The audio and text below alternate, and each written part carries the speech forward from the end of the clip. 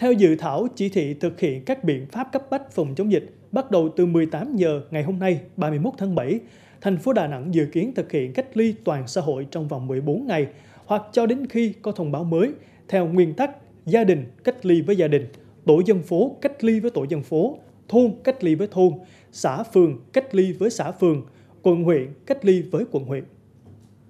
Yêu cầu mọi người dân ở tại nhà chỉ ra ngoài trong trường hợp thật sự cần thiết như đi mua lương thực, thực phẩm, thuốc men, cấp cứu, khám chữa bệnh, tiêm chủng và các trường hợp khẩn cấp khác, công tác công vụ, tác nghiệp báo chí, đi làm nhiệm vụ vệ sinh môi trường đô thị, xử lý sự cố điện, nước, hệ thống hạ tầng kỹ thuật thông tin, phòng chống dịch theo quy định, làm việc tại cơ quan công sở nhà nước, tại các nhà máy, cơ sở sản xuất, kinh doanh, dịch vụ hàng hóa thiết yếu được phép hoạt động, điều khiển phương tiện vận chuyển giao nhận hàng hóa thiết yếu, hàng hóa phục vụ sản xuất, kinh doanh dịch vụ và xuất nhập khẩu, nghiêm cấm người dân và phương tiện ra ngoài đi lại và hoạt động từ 20 giờ tối hôm trước đến 6 giờ sáng hôm sau, trừ các lực lượng chức năng và phương tiện đi làm nhiệm vụ, công vụ và các trường hợp khẩn cấp khác như đi cấp cứu, bị hỏa hoạn, thiên tai.